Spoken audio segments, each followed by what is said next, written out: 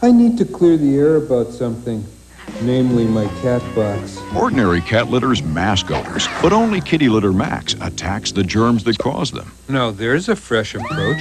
Kitty Litter Maxx. It's murder on odor.